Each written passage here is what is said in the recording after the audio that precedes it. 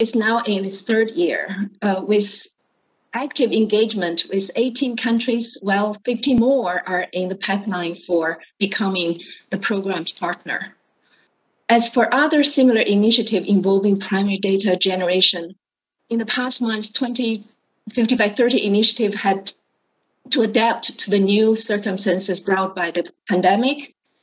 With the situation slowly going back to normal, we're very happy to report that the first 50 by 20 integrated household survey program is currently kicking off in Uganda.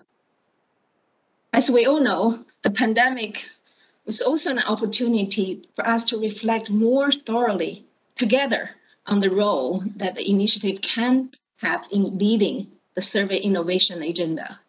It also gave us an, a chance to consider its uh, value added in terms of integration with new data sources and methods uh, which really have gained momentum during this pandemic.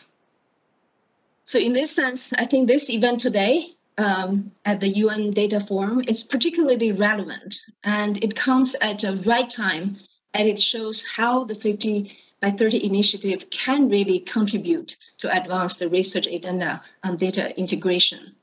It can also support the uh, repositioning of the household and farm level service in this novel landscape. I'm really glad that we have these five uh, presenters today. Um, there, some of them uh, closely linked or affiliated to the 50 by 30 initiative. For example, uh, my colleague Talip, who manages important portions of the uh, methodology uh, component of the initiative especially uh, those related to the integration of ground and earth observation data. Others are potential technical partners. So we're very happy that you're with us today. Um, for example, uh, our presenters from uh, Radiant Earth and Arable, who will illustrate innovative technical solutions and share with us the vision um, that ground data are not just a thing of the past. We also have uh, Hamed, and Jess, whom I need to especially thank for connecting at this very early hours in the States. Uh, I'm just really excited to hear from you um, because I really want to learn from your view on how a private company and the nonprofit sector can contribute techn- technological solutions that generate in- informative, cost-effective data that can be shared with a wide audience of users globally to maximize their um, informative value while uh, protecting confidentiality of the respondents. We also have a visionary head of an NSO in Dominik, someone who has been pushing the methodological frontier in the realm of official statistics with his leadership uh, at Statistics Poland uh, who can really help us think through how data innovation can be grounded and come to terms with the rigor that is re- required of official statistics. Dominik is a long-term friend and partner of the World Bank, and we have MOU uh, with uh, uh, Statistics Poland to help us make this collaboration uh, very concrete in supporting other countries. Last but not least, we have Keith, who represent uh, both, one of the NSOs with which the initiative is implementing an ambitious integrated survey program that is just going to the field as we speak. Keith, who is also a farmer and activist, who will take us back to what it all means for the primary producer of data, our respondents, the subject who participate in our surveys, and how we can fulfill the responsibility of giving uh, value back to them through a more uh, deliberate approach to uh, valuing data use. So with that, uh, let's get started. Just a few uh, housekeeping uh, information.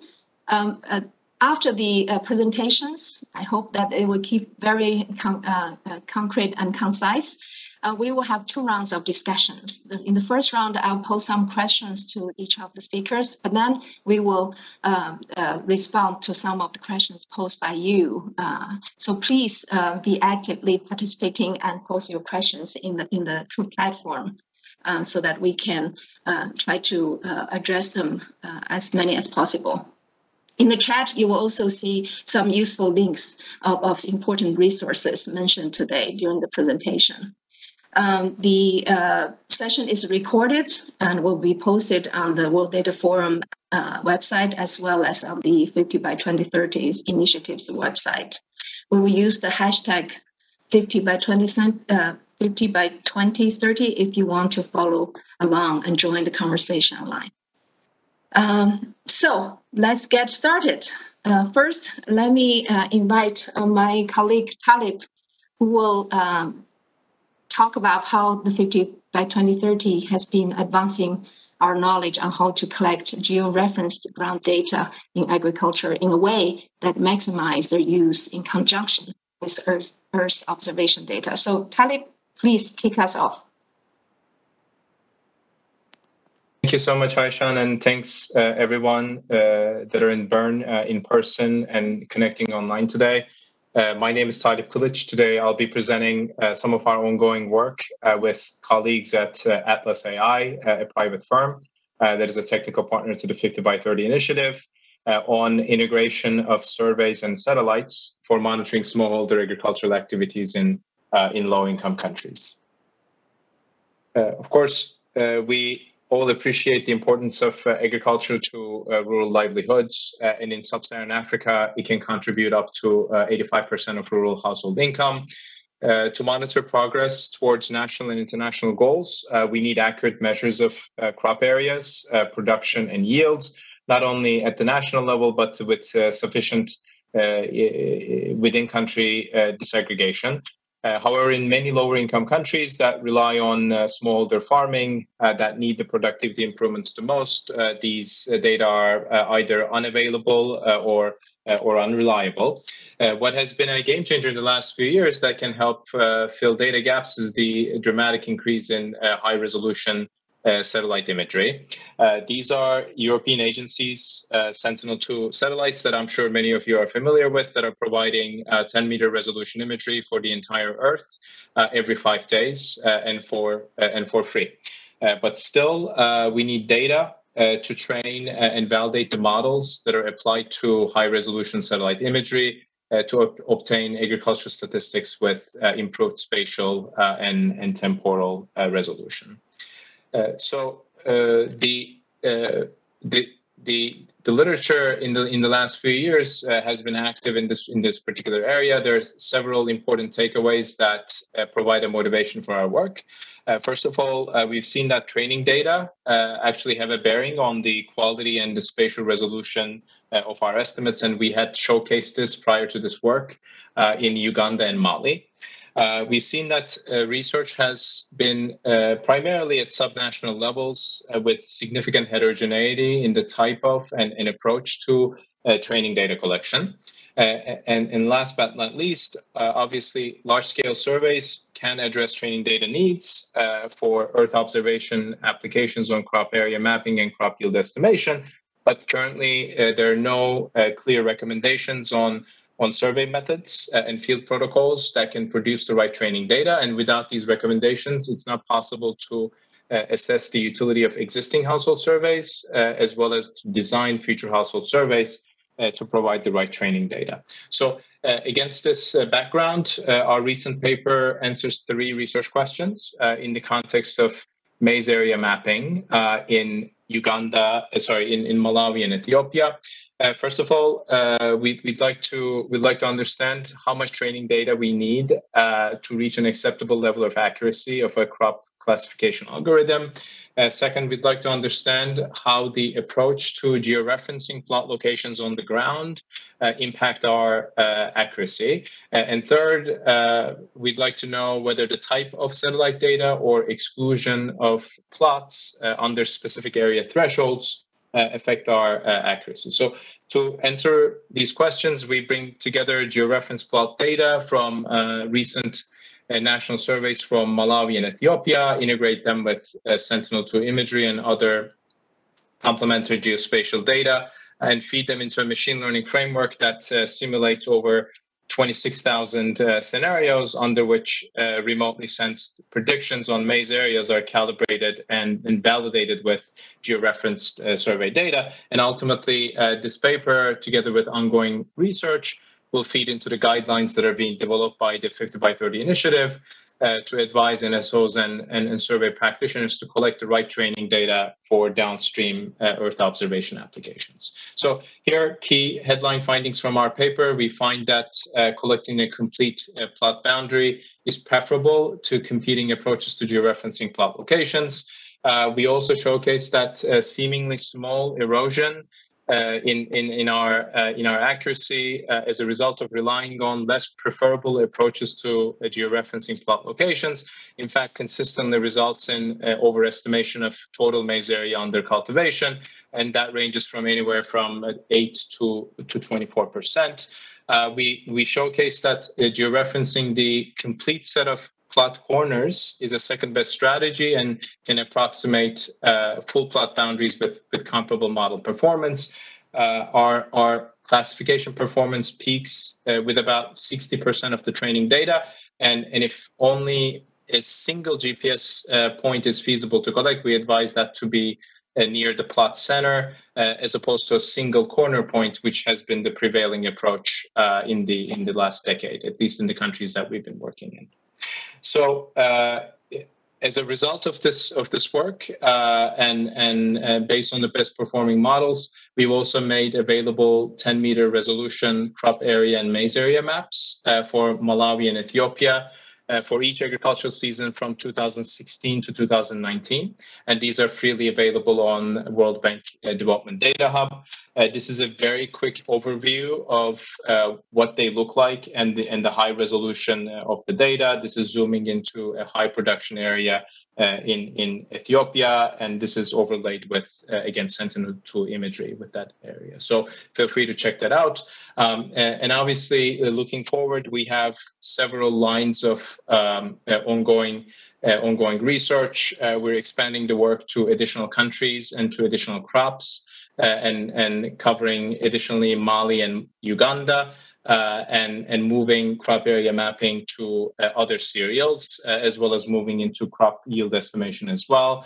Uh, there are going to be several lines of work uh, in understanding the accuracy implications of relying on different modeling choices, as well as gauging the performance of our models in in in intertemporal uh, predictions. And ultimately, if the COVID 19 pandemic allows, uh, we'll move uh, from using existing survey data to conducting survey experiments to gauge the sensitivity of our recommendations. So, thank you all very much.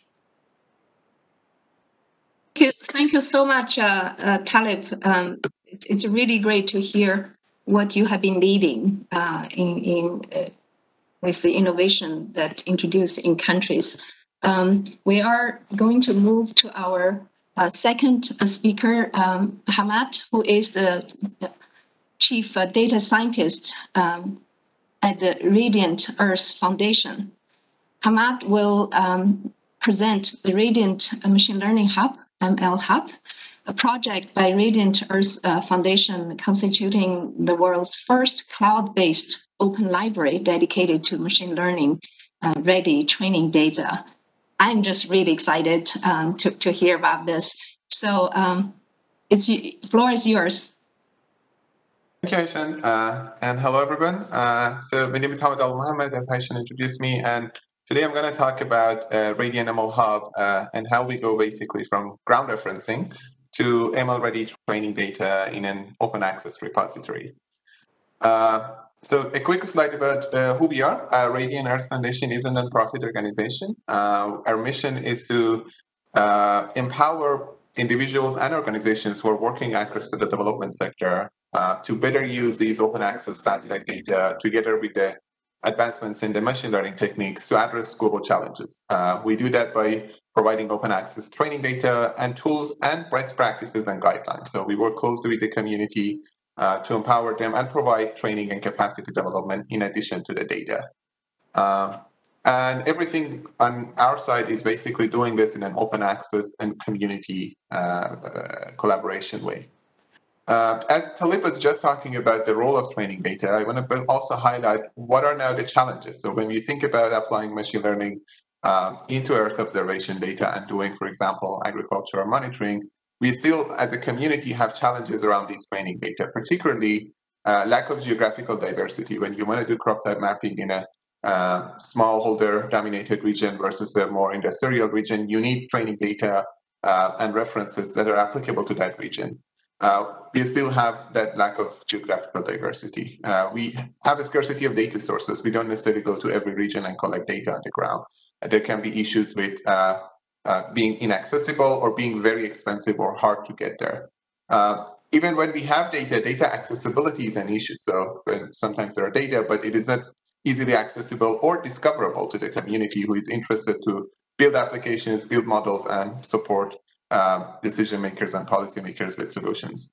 Uh, and the last two are what I call interoperability and ML readiness. Uh, when you think about ML frameworks, they have their own way of uh, digesting data uh, and doing ground referencing is a different thing. So bridging the gap between these two worlds uh, and making sure when we are benchmarking data sets and models, there's a standard format, there's a, a interoperable format that users can easily consume the data and focus on the application development rather than on the data engineering part is a key piece of our work. So, uh, and if we don't address these, we are going to end up with uh, models that are not necessarily accurate uh, or I would say uh, uh, performing well across different regions. So we look at this as I would call a data ecosystem. So you can see the data journey, as I call it here.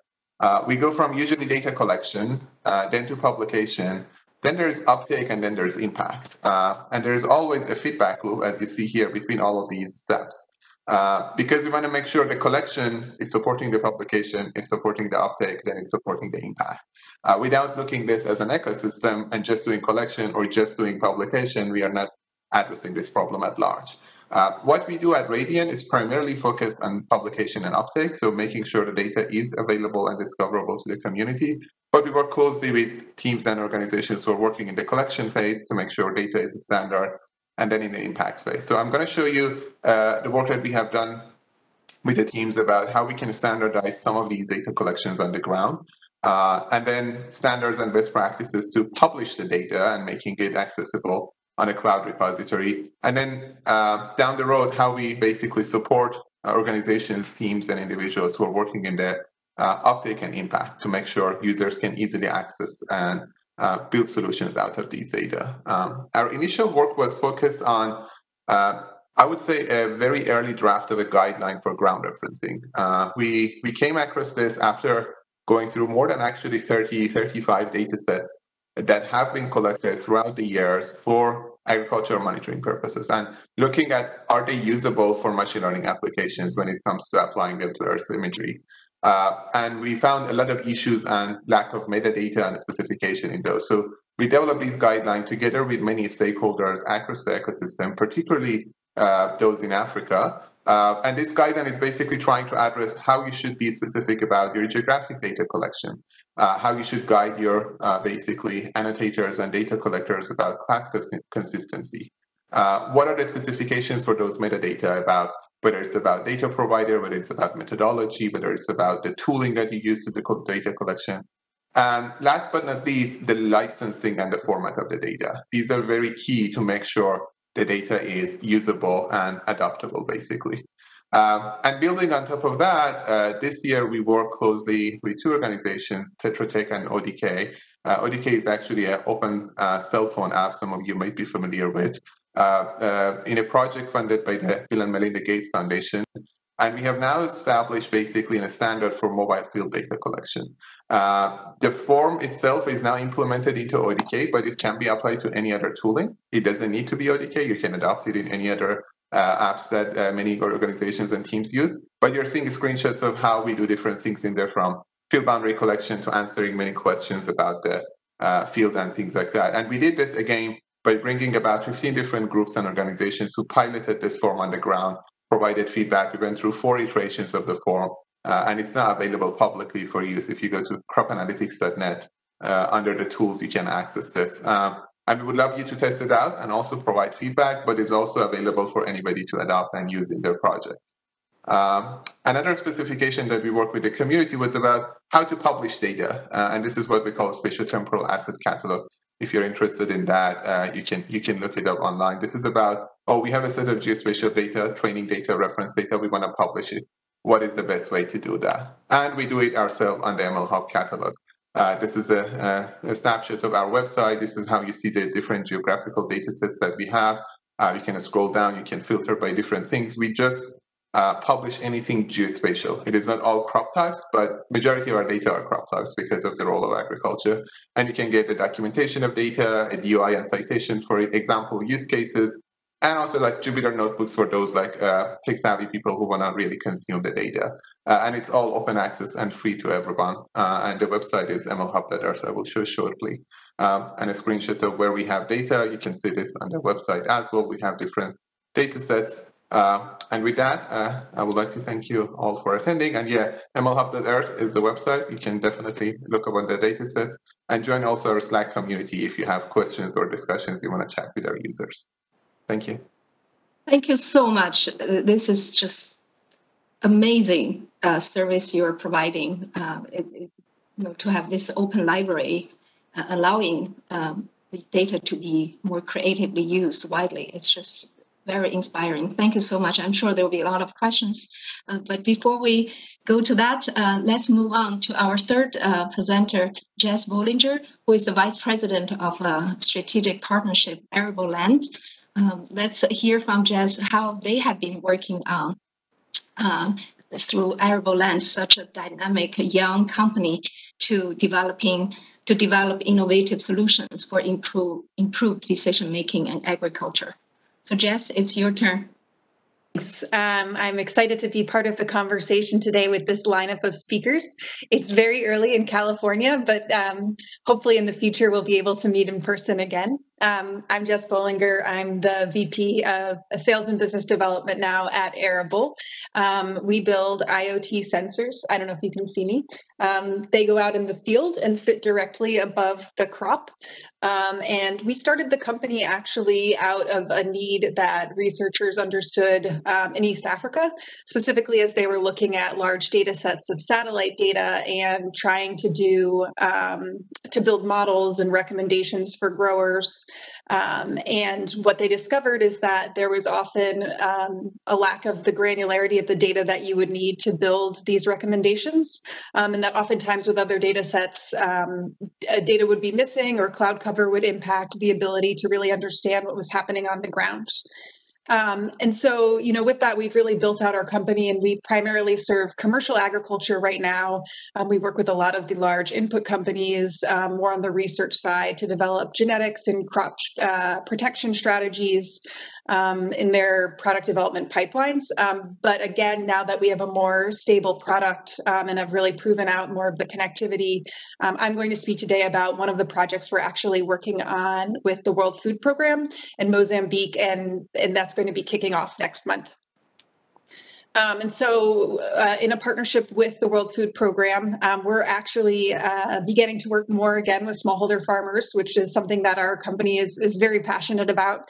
Um, and for those of you who are less familiar with the smallholder context, um, approximately 500 million smallholder farmers produce 80% of the food consumed by the developing world.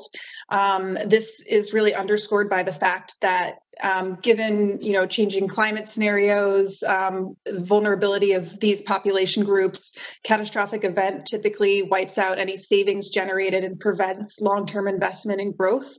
Um, and what the wfp has done um, in mozambique is they have begun this program called r4 resilience. Um, and it's an innovative way for these smallholder farmers to access um, insurance and to help them mitigate the risk that's often associated with these large scale catastrophic catastrophic events. Um, in Mozambique is particularly interesting. Agriculture accounts for 70% of the income of the population. Um, it's also, you know, in 2019, the country most impacted by extreme weather events. Um, recurring emergencies in that region have um, required $3 billion of recovery investment from international organizations.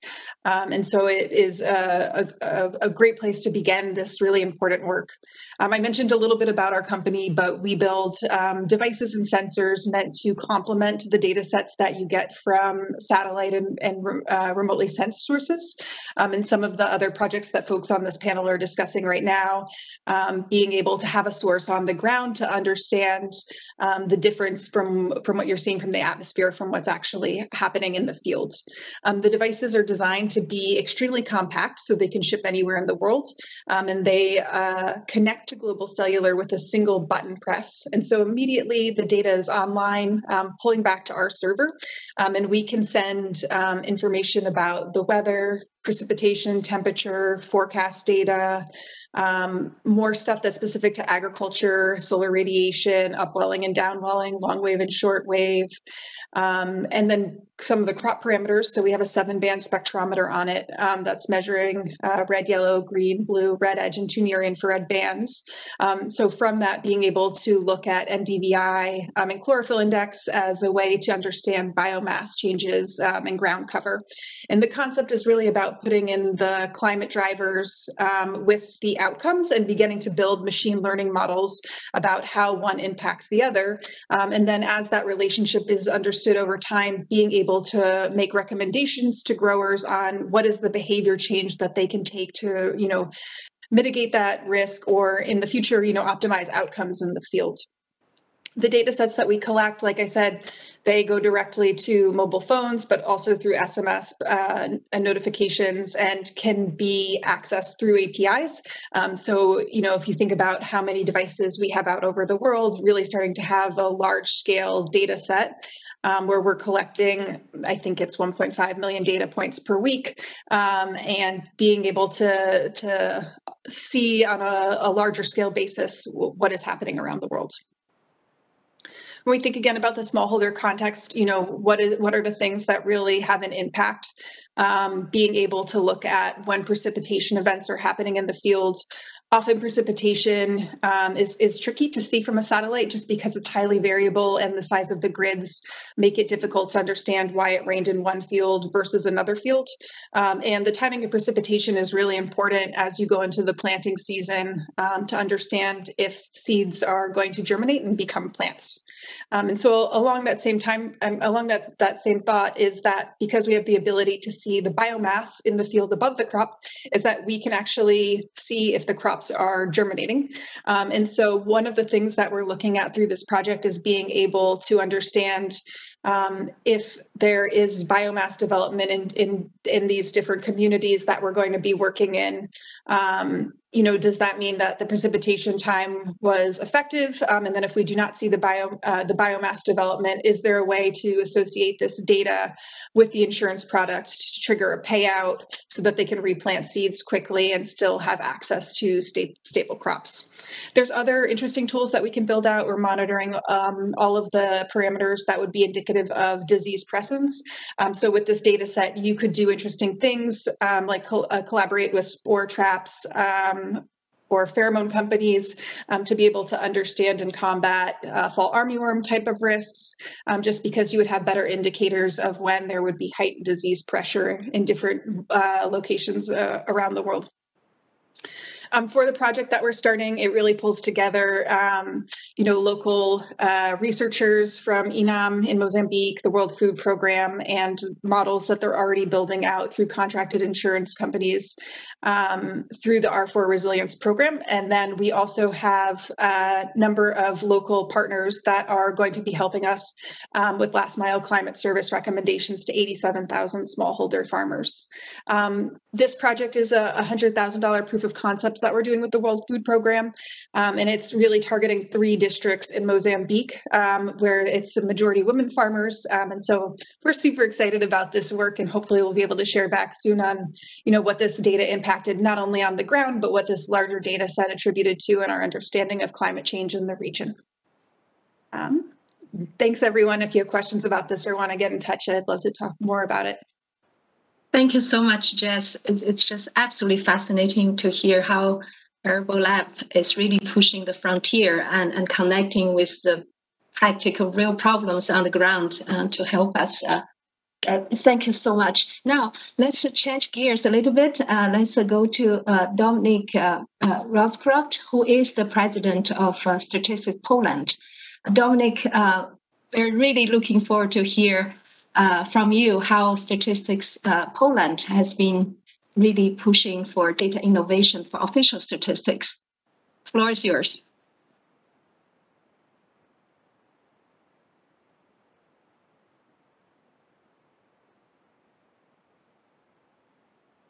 Uh, okay, great. I, I think it's coming up.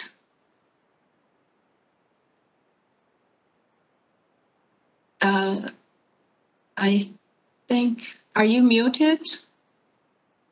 We can't hear Yeah, you. that's the first thing. That's the first thing. Thank you very much. That's fine. No problem. And uh, now, now, now I have to uh, start sharing again. Mm. Just screen share, and uh, yeah. Yeah, it came up beautifully. So you see the whole presentation? Yes. Or? We, we, we see the whole presentation.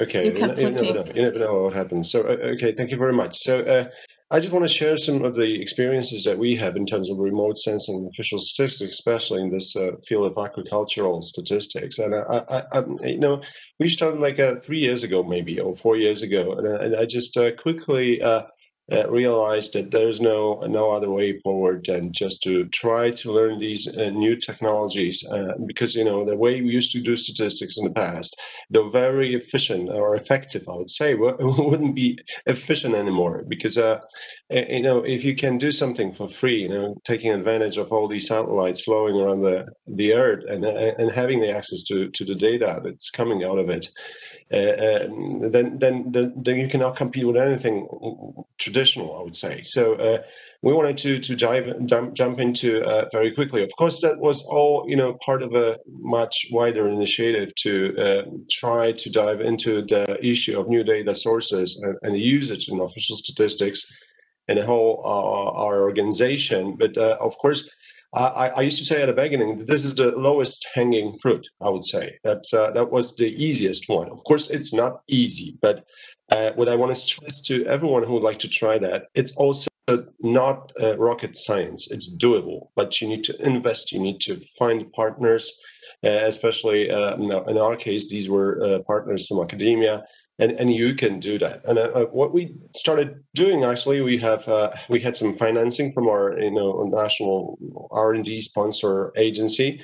Uh, uh, for uh, having the contract with two two institutes. One was Space Research Center of the Polish Academy of Sciences, and then the other one was the Institute of Geodesy and Cartography.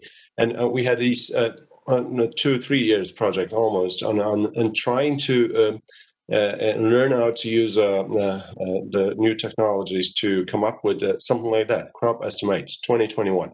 Uh, we've been able already to publish these for two years, for the last two years. Uh, they are still marked or branded as experimental statistics, but we have a very distinct plan to uh, get uh, uh, uh, so to stop all this traditional collection. You know, we, we've been continuing the collection in order to to to have data to to teach our algorithms.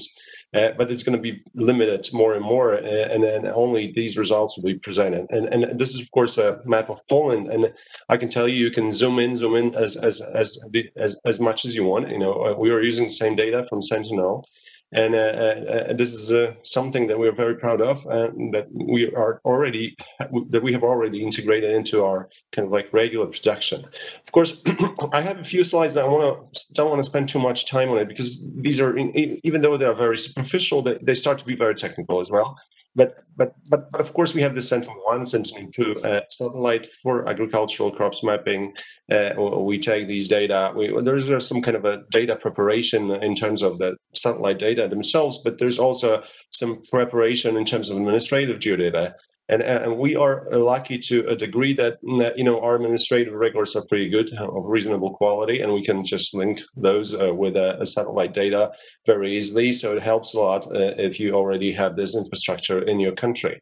Uh, but if you have it, then you know uh, you, you just select non-agri areas. You just get rid of non-agri areas, choose representative parcels, and then you apply you know machine learning algorithms and uh, after the segmentation, of course, and you can come up with a uh, you know pretty precise estimates. And I can tell you that the precision of these estimates uh, was uh, was higher than our expectations in the beginning, and and, and are enough, I would say, for for the sake of what these statistics are used for. I would say that this is just enough, and, and you don't need to have it any more uh, precise. But of course, you know, with a with a passage of time, we, we are learning new new methods. We get more data, and these these standard errors, the precision is is growing. So uh, uh, uh, we have basically implemented this in a crop estimate estimation, but uh, we have plans, and we have now applied for uh, another project that will try to take advantage of the same sources of the same infrastructure hardware that we have acquired and the software uh, for the purpose of you know a monitoring of urban areas of forestry environment and land cover we got we, we got the same like kind of like the same project application that we did with the crop estimates and we want to extend these um, capacity into other areas of our interest uh, I, I, I'm very enthusiastic about it. So, for example, we also have some experimental work in a very kind of like peculiar topic of identifying the photovoltaics on the roofs on the buildings, which is not that easy. You know there, there's no register for that, and it's very useful to know how many of those uh, you know are already installed. And we've we, we've done that uh, as well. You know, as an experimental work.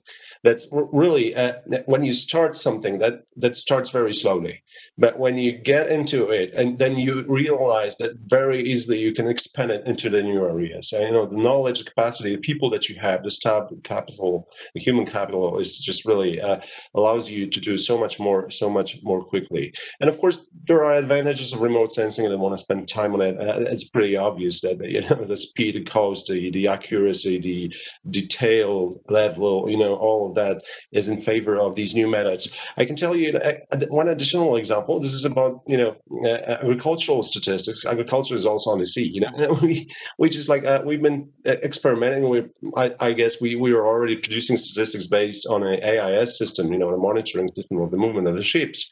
And we have applied that also, and we did kind of like a part of a project for the Eurostat as well, when we have specialized ourselves in monitoring the fishing fleet and, uh, and, and producing statistics based on monitoring the fishing fleet, uh, uh, which is part of an interesting story in terms of uh, what the Ministry of Agriculture is interested in. And of course, uh, you can go to the GitHub, you know, we even publish all of that because it's open, open source, open, open algorithms. So, so uh, there, there, there's a lot of work that can can be done. You know, even uh, surprisingly, sometimes you know the team that hasn't been designed for doing something in some area can do uh, and can actually do like this team that was responsible for transportation you know statistics but they came up with the fishing fleet statistics workflow and, and we're already producing these as an experimental statistics but these are very important uh, uh, uh experiments i would say. So uh, at the end i would just like to say uh, you know if you if you if you want to do it that there's one advantage of official statistics i can tell you that whatever we do is not fragmented. So because there are many projects everywhere you know different institutes uh, different uh, you know uh, universities doing something. But uh, then if you want to have a sustainable system of you know uh, producing numbers which are required to take decisions political decisions and the official statistics has this huge advantage. And it's very important to kind of like try to build this capacity within your premises. Thank you very much Thank you so much, uh, Dominik. It, it's, it's, it's really inspiring to hear what you have been able to do uh, at Statistical uh, Statistic Poland. At the same time, thank you for reminding us we still really need to help many countries to build that basic infrastructure and capacity in order to pursue such uh, in innovations. So thank you so much. Now let's move to Keith. Keith uh, um, Ayumuza is the senior statistician uh, at uh, UBOS, Uganda. Keith, um, I, we would love to hear from you uh, on your perspective on the importance of delivering back to our survey respondents, including enhancing equity, access, and use of data for sustainable production. So here you go.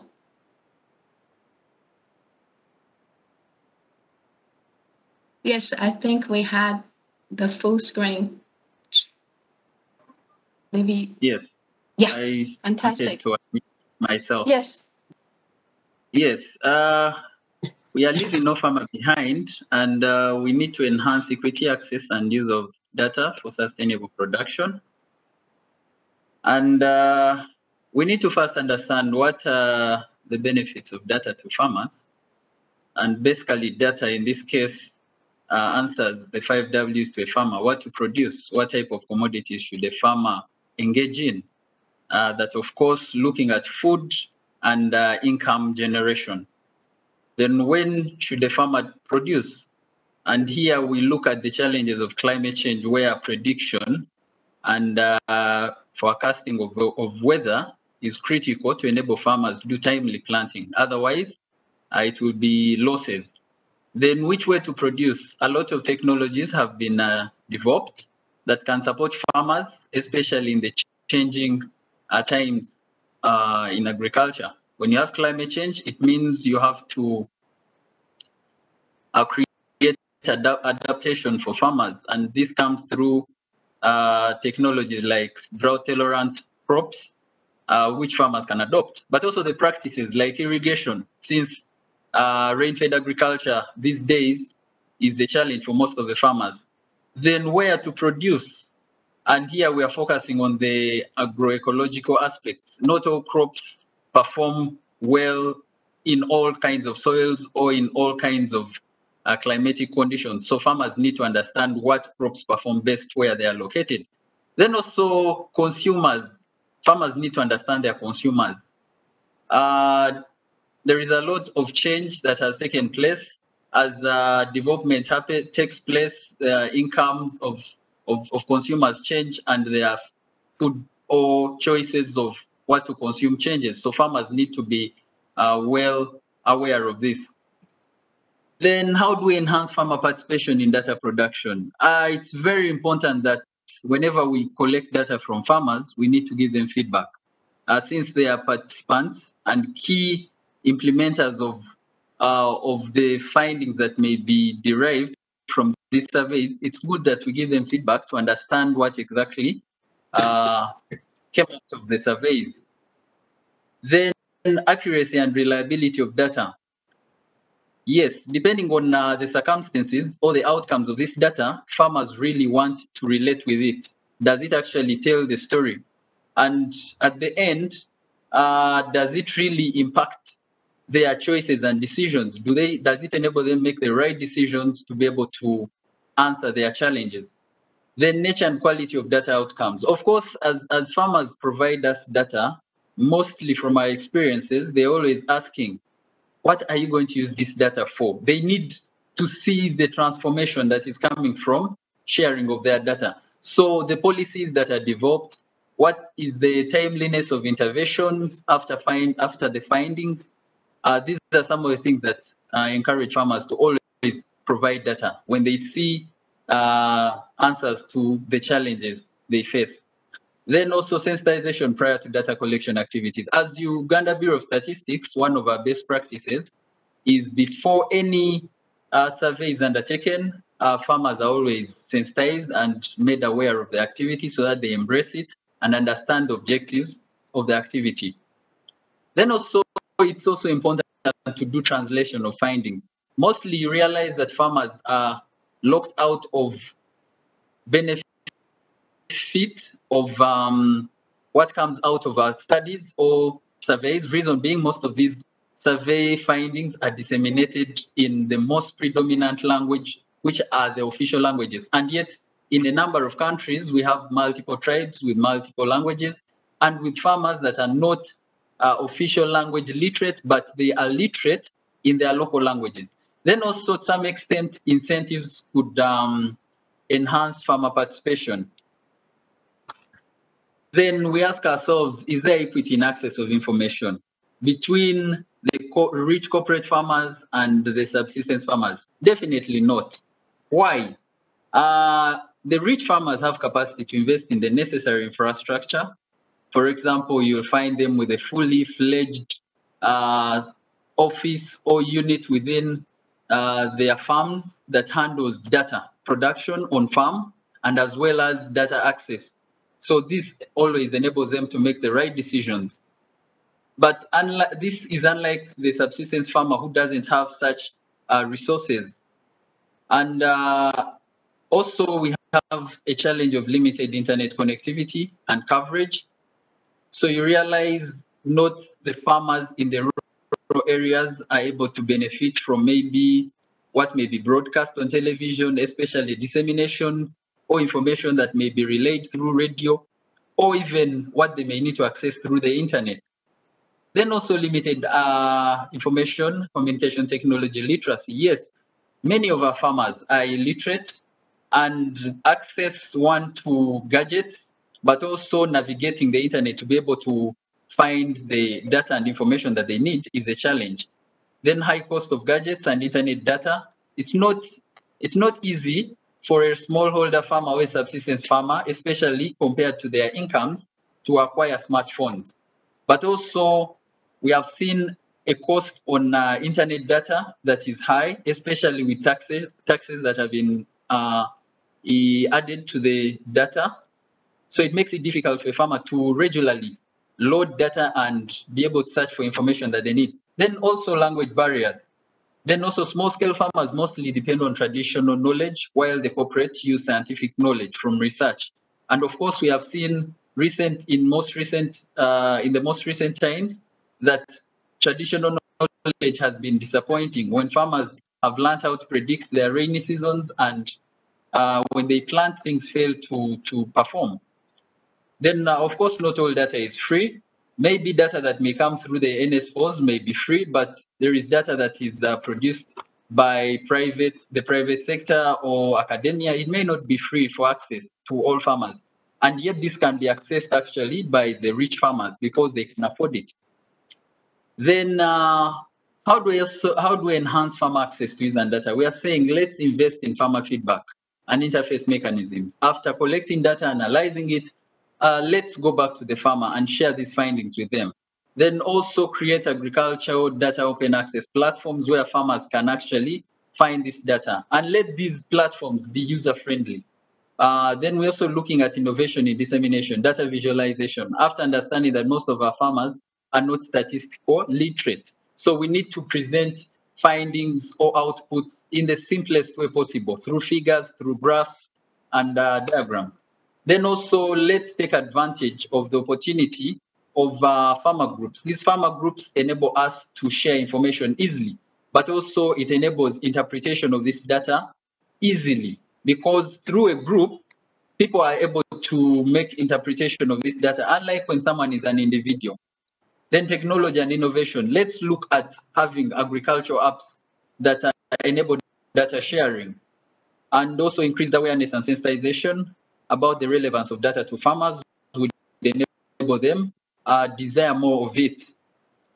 Then how do we maximize data innovations for farmers? And here we're focusing on the roles of the public sector, academia, private sector, and uh, the public uh, and other organizations. Here, first of all, whenever we have any new innovations, uh, it means it comes with a need to build capacity to be able to uh, operate with these innovations and appreciate them better. Then also awareness creation. The more awareness created about an innovation, it increases its adoption within the, the, the data production and consumption uh, system. Then also increased funding. Yes, whenever a new innovation comes, it means systems have to also transform. So you find that you need to acquire uh, certain uh, infrastructure that can support the innovation. So funding is key. Then also we need to enhance collaborations between institutions.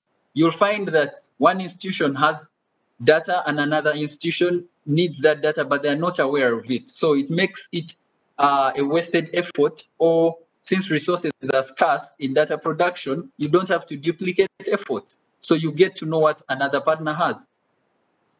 Then integration of the innovations into the academia. The earlier students get to interact with these innovations, the better to be able to work with them when they're in the in, in, in the field of work.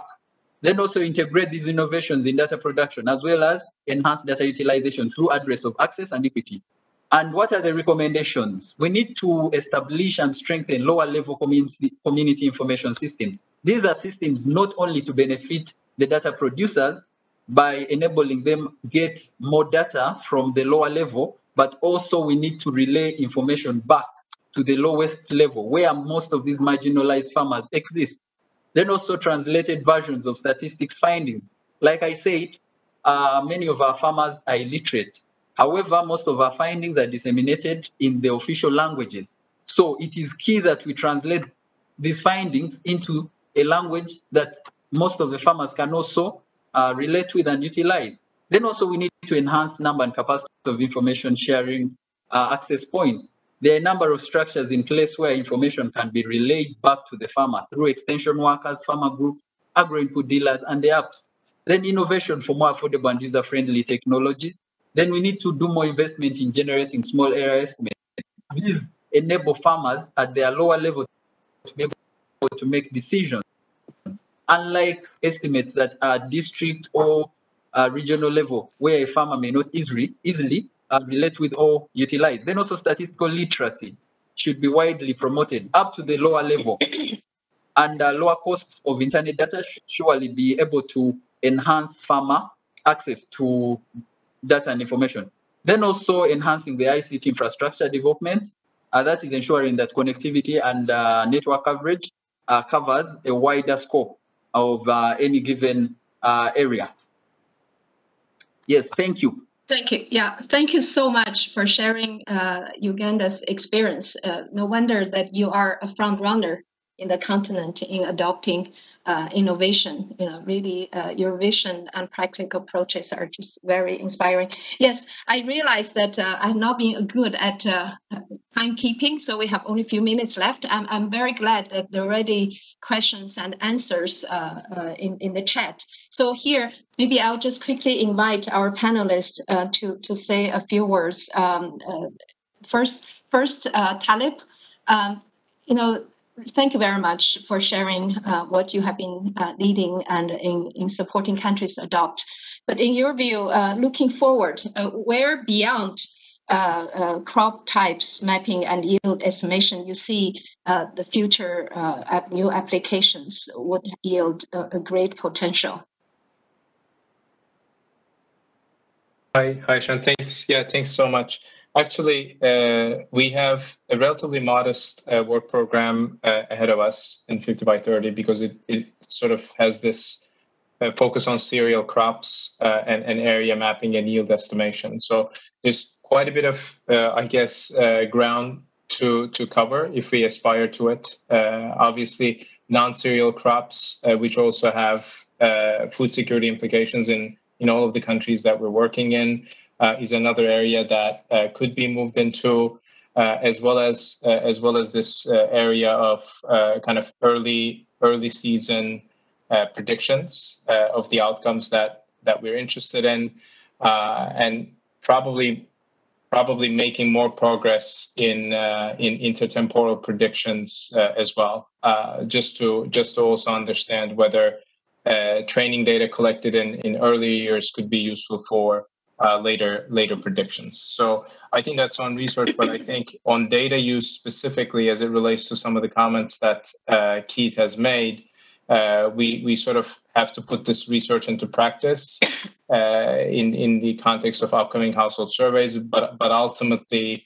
Uh, in, at the fingertips of uh, of the clients that we're working in as as part of the 50 by 30 initiative, but probably more broadly at the World Bank. So I think that that last mile will will take quite a bit of effort uh, on our part. Thank you so much. Uh, I know uh, our time is very short, but uh, Keith, Keith, the, Keith, um, uh, please. Hamed, actually, I'd go to Hamed. Hamed, maybe you can comment on how, in what you're doing to ensure privacy, uh, um, since uh, so much data are being made open, and how do you deal with the perceived risk of uh, disclosure and privacy? Very, uh, yeah, very good.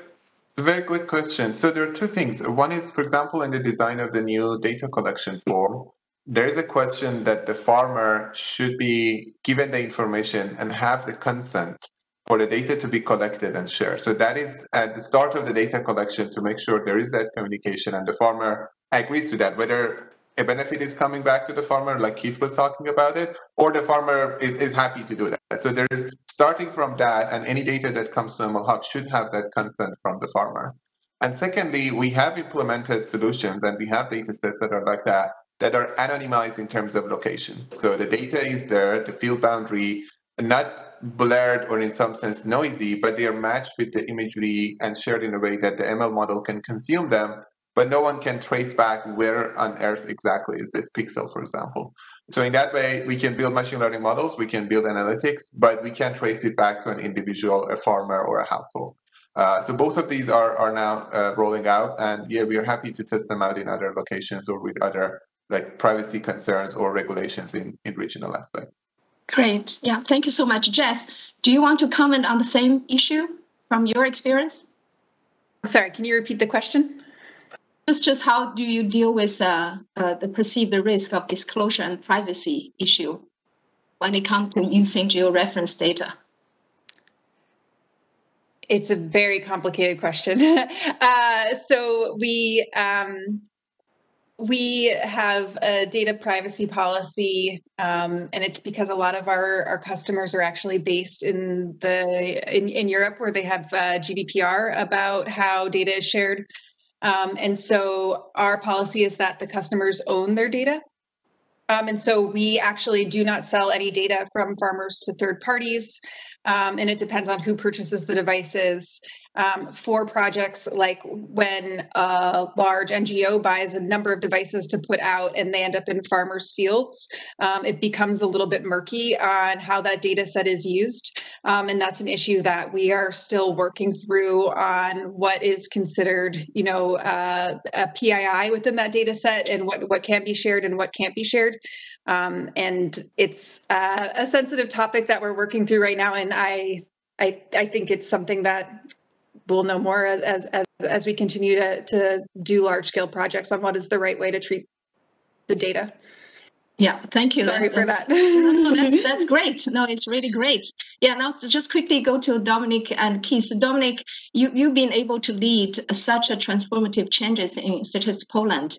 Um, as, as a very established uh, NSO, was there any resistance to, to such changes and how did you manage it? Just very briefly, just, it's just very, yeah, of course, I understand. It was a stronger resistance at the beginning, even, even if everybody claims now that there was no, because now we see the results. But uh, I can tell you uh, that was a part of a wider initiative that I told people, you know, I'm going to talk only about the innovations, and we are going to spur innovation culture here, and you are going to report to me annually about the innovations that you have introduced in your departments, not only in terms of new methods, but whatever innovation, product, product, you know, product process, you know, communication innovations. So I've been discussing only those, and I, I, there was a strong message from the from from from from from the top that uh, I'm expecting innovations, and we have to put to that, and, and and and particularly to the statistics department, I told them that I'm sending them to the space, and it's up to them to decide whether this will, this is going to be a rhetorical figure or I will send them, you know, physically. But uh, but, uh, but really, you know, just when we discuss these issues, it turned out that it is all feasible, and uh, with a little bit of the effort, we can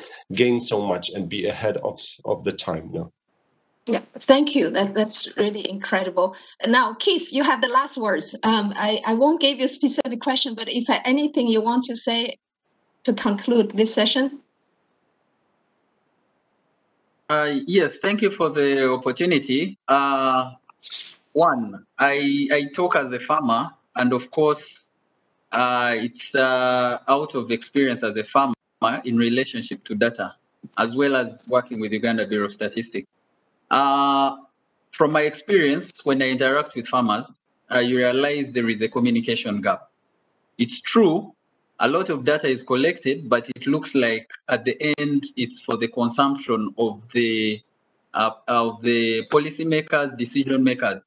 However, we forget something that it's the farmer that will be the key implementer of any of the decisions and choices that are made. Otherwise, sometimes we wonder why adoption of certain technologies is low. We only go to collect data to understand how farmers have adopted them, and yet we probably never shared these technologies. So it's to me a plea and a request, especially when we are dealing with um, agriculture. Maybe let me use the developing countries because statistics have it that majority of the population in uh, developing countries uh, depend on subsistence farming. So any any any intervention in terms of uh, development and uh, impacting of households through transformation of agriculture must look at this sector as key. If any transformation must occur, then the subsistence sector must be looked at as a key sector. Otherwise, they are the majority of our population. Right. So if we make any decisions, choices without their contribution or participation or even understanding what's happening, like climate change is a reality. But when I go to my community, people are still using traditional uh, prediction of weather forecasting methods. And it, it, it's hurting when you find a farmer planting after three, four weeks of rain failure, they have to replant, and Right. these are losses. Right. So I think I think uh, dissemination to the lowest level should be given priority. So when budgeting is being made, it shouldn't only allocate a lot of funding to data collection and data processing activities, but we also need to give effort back how this message runs back Right. to the farmer. Yeah. Yes, thank you very much. Thank you so much, Keith, for for helping us to conclude this session and draw our attention back to why we started to do all these innovations so that we can really change the life and livelihood of, of those people on the ground. So on that note, let's conclude this uh, this session. Thank you, our uh, uh, audience, for staying with us. This is a really uh, amazing session with such uh, inspiring speakers. Um, this is just a start of how we should come together much more closely to innovate and bring the benefit back to the ground. So with that, um, let's conclude the session. Thank you all and look forward to seeing you all um, throughout the year uh, through the under, under the 50 by 30 initiative and more broadly through our collaboration towards the next World Data Forum. Thank you. Thank you. Bye. Thank you very much. It was a pleasure. Thank you.